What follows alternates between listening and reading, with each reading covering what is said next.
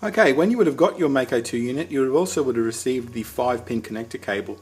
This cable is used to connect the Mako 2 to the Taigen or Henglong MFU. Okay, the input port for the Mako 2 is always on the uh, left hand side down towards the bottom of the board. So you simply connect one end of the 5-pin cable into there, the other end of the 5-pin cable connects into the IR port of your MFU, like so. There we go. What you disconnected from the IR port then connects into the IR port on the Mako 2. Like so.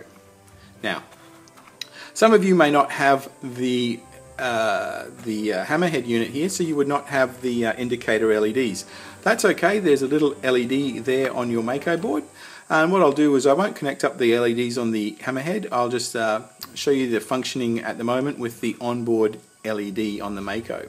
So that's your Mako pretty much installed. I haven't installed the uh, recoil blocking. I'll do that in the next short video snippet.